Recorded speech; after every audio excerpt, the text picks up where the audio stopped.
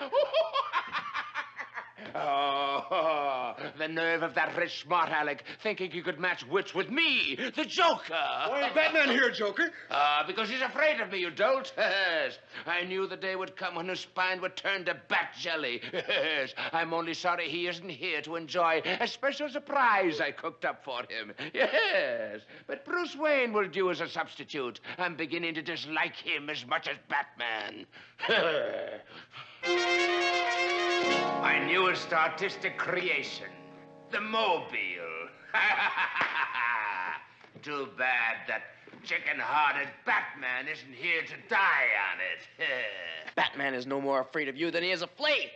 And I know Batman well enough to be sure of it. Uh, no use trying to alibi for him. The Caped Crusader has turned coward coward. Yes.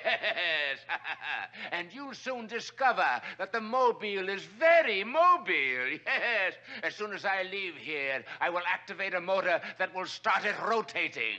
Yes, let's see how long you can dodge these razor sharp palette knives, boy bumpkin.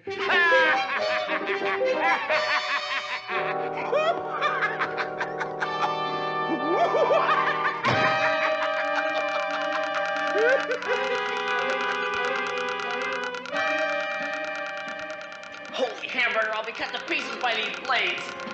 Stay with it, old chum, while I try to loosen these ropes.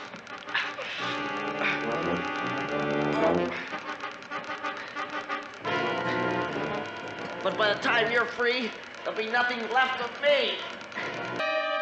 When we last saw Robin, the artful Joker had hung him on a gigantic Batmobile, along with dozens of giant palette knives about to slice him to slivers. With Bruce Wayne securely tied to a nearby chair in the monstrous mobile room of Joker's studio. In one moment, we'll find out whether Robin's saved or shaved.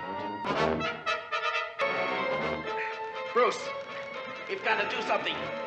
These blades are getting lower and lower. We've got one chance, Robin. If I can get to that governor and stop this creation of Jokers.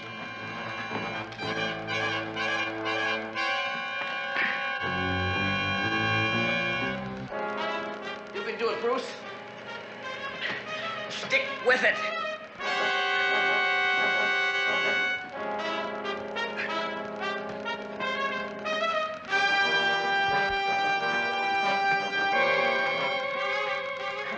I seem to have loosened one of these bonds.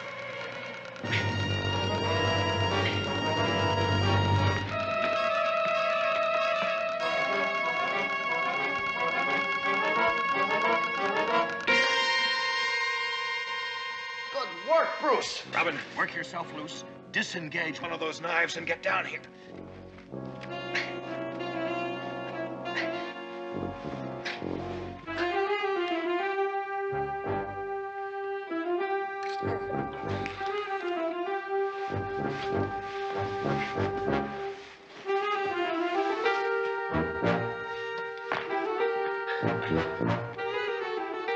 Quickly, disconnect the drive belt.